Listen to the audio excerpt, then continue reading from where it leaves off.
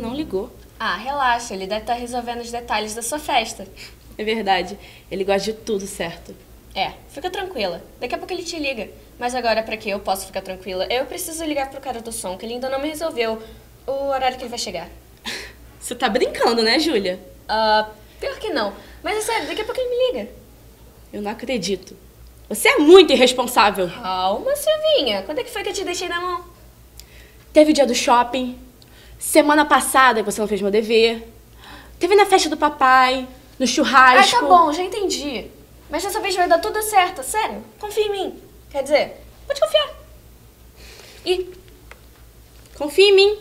É sério. Pode confiar. Assim você me deixa nervosa. E nervosa você sabe que eu não faço nada direito. Não, Júlia, calma. Você já não faz nada direito. Alô? Aí, tá vendo? Perdi ligação. E se fosse o cara?